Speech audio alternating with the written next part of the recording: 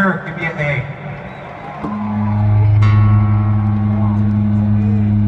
Not too bright. Is it? Hey, you guys, have you ever seen Spinal Tap? You're seeing it again.